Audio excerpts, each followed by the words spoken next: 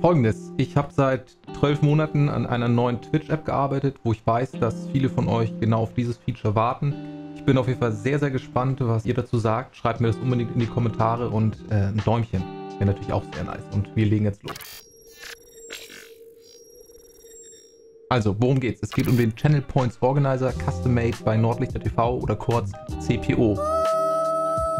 Was ist das jetzt genau? Also Kanalpunkte kennt ihr alle. Das Ding bei Kanalpunkten ist, wenn ihr zum Beispiel von einem Spiel zum anderen wechselt, also zum Beispiel von Call of Duty rüber zu Rocket League, dann benutzt ihr mit hoher Wahrscheinlichkeit unterschiedliche Kanalpunkte. Bei Rocket League könnte es zum Beispiel sein, dass eure Zuschauer sich euer Auto, also ein Auto wünschen könnt, was ihr spielen sollt. Oder bei Call of Duty sollt ihr zum Beispiel einen speziellen Modus spielen. Jetzt gibt es das Problem, wenn ihr von dem einen Spiel zu dem anderen Spiel rüber switcht, sind natürlich trotzdem immer noch die Kanalpunkte für beide Spiele aktiviert. Um das zu ändern, müsstet ihr dann in die Twitch-Oberfläche reingehen, müsstet da umständlich jeden einzelnen Kanalpunkt suchen, den ihr an- bzw. ausstellen wollt. Und genau da kommt eben der Channel Points Organizer zu tragen. Mit dem könnt ihr nämlich per Knopfdruck oder auch per Stream Deck ganz, ganz einfach Punkte an- und wieder ausschalten. Das ist sehr, sehr nice und ich zeige euch jetzt, wie das funktioniert. Es gibt natürlich noch andere Beispiele. Ihr sagt zum Beispiel gerade im Just Chatting und wechselt dann in ein Spiel oder umgekehrt und auch da wollt ihr eigentlich andere Kanalpunkte haben. Oder es gibt spezielle Tage bei euch mit speziellen Events oder speziellen Streams. Auch da kann es gut sein, dass ihr eben andere Kanalpunkte einstellen wollt. Oder mitten in einem Stream sagt ihr, ah, ich habe jetzt gerade keine Lust auf Kanalpunkt XY. Auch das ist dann eben kein Problem. Das kann man sozusagen on the fly einfach ganz schnell ändern. Oder Trolle kommen bei euch rein, die sagt, ich möchte jetzt sofort alle Kanalpunkte ausmachen. Auch das ist natürlich möglich. Also die Anwendungsfälle sind wirklich sehr, sehr vielfältig. Link zum Download vom Channel Points Organizer ist natürlich unten in der Beschreibung. Wenn ihr den CPU gedownloadet habt, dann einfach installieren, öffnen und da gucken wir jetzt rein. So, wir haben die CPU geöffnet. Als erstes müsst ihr hier rechts oben einmal draufklicken und euch bei eurem Twitch-Kanal anmelden. Ne? Ganz klar, hier müsst ihr euch einmal anmelden. Dann läuft es folgendermaßen, dass ihr hier in der Liste einmal Kanalpunkte auswählt, dann hier auf Belohnung und Herausforderung verwalten drücken und hier sind dann eben eure Kanalpunkte. Als kleine Info, hier links unten ist auch ein Infoknopf, da könnt ihr nochmal einiges über den Channel Points Organizer erfahren, wisst ihr auch Bescheid. Aber jetzt kommen wir sozusagen zum Main Feature oder zu den Main Features. Noch eine Info, wenn in der App bzw. in dieser Oberfläche der Kanalpunkte irgendwo ein Pop-up oder so auftaucht, also ein Pop-up von, Pop von Twitch, dann müsst ihr dieses wegixen, nur dass ihr das auch wisst. Also der Vorgang ist ganz, ganz easy. Wir gehen jetzt mal zum Beispiel davon aus, ich spiele jetzt gerade Rocket League, dann möchte ich bei mir die Kanalpunkte anhaben. Traden, ne, mache ich an, 1 gegen 1 mache ich an und ich will noch, dass die Leute bei mir im Stream-Hintergrund die Lichter, die Farben verändern können. Dann mache ich auch noch diese drei hier an. Wie Zuschauer live eure Lichter im Stream triggern können, habe ich übrigens Video zugemacht. Link packe ich mal unten in die Beschreibung. Ist sehr, sehr nice für die Interaktion. Guckt euch das gerne an. Nach dem Video bitte. Ne? Wäre nice. Also wir haben jetzt diese fünf Kanalpunkte angeschaltet. Als nächstes geht ihr einfach auf Hinzufügen und gebt jetzt dieser Gruppe, die ihr erstellt, von diesen Kanalpunkten einen Namen. Wir nennen diese Gruppe jetzt Rocket League. Dann einmal Enter.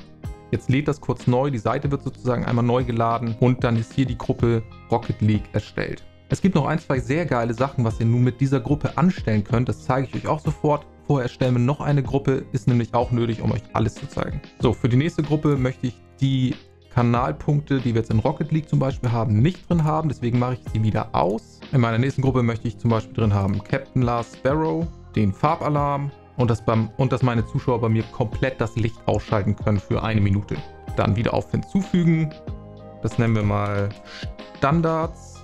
Wieder auf Enter. Jetzt wird die Gruppe hinzugefügt. Wenn ihr jetzt hier auf das Kästchen von Rocket League klickt, dann seht ihr, es lädt ganz kurz.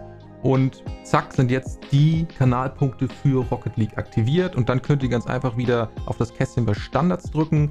Seite lädt einmal kurz neu und zack, die Rocket League Kanalpunkte sind aus. Die neue Gruppe hat sich aktiviert. Sehr, sehr geil. Wirklich super viele Möglichkeiten. Wenn euch das Video bis hierhin gefällt, wäre natürlich ein Däumchen, ein Träumchen. Vielen Dank schon mal dafür. Wir drücken jetzt einmal hier bei der Gruppe Rocket League Kanalpunkte einmal hier einfach auf die Fläche drauf. Dann öffnet sich hier ein neues Menü. Dann könnt ihr einmal die Gruppe umbenennen, dann könnt ihr sie entfernen, wenn ihr sagt, die wollt ihr nicht mehr haben. Und hier ist es halt einmal super interessant, Tastenbelegung hinzufügen, mega nice. Einmal draufdrücken. Wofür machen wir das jetzt? Wir machen das jetzt, damit wir noch nicht mal in diese App rein müssen, um diese einzelnen Kanalpunkte, Gruppen triggern zu können, sondern das zum Beispiel per Shortcut direkt auf eurem Keyboard machen zu können. Oder auch, wenn ihr ein Stream Deck habt, auch direkt per Stream Deck. Mega geil. Wir sagen jetzt zum Beispiel, die Rocket League Gruppe soll mit STRG F1 getriggert werden. Ich drücke STRG F1 Und dann sieht man auch hier, jetzt hat sich das geändert. Das heißt, mit strg F1 wird diese Gruppe jetzt getriggert. Als nächstes öffnen wir jetzt einmal das Stream Deck, aber ihr könnt das im Grunde mit jedem Programm, mit, mit jedem Stück Hardware machen, wo man eben Hotkeys einfügen kann. Dann geht ihr einmal auf System, dann einmal auf Hotkey, fügt das hier ein. Das nennen wir jetzt RL Kanalpunkte. Dann einmal hier bei Hotkey draufdrücken und auch strg F1. Das gleiche habe ich jetzt auch für die Gruppe Standardkanalpunkte gemacht. Und wenn ihr jetzt hier auf dem Stream Deck zum Beispiel auf den Knopf Standardkanalpunkte drückt, seht auch direkt in der App, dass es sich ändert. Mega, mega nice. Und natürlich geht es auch genauso gut umgekehrt. Einmal draufdrücken und es ändert sich.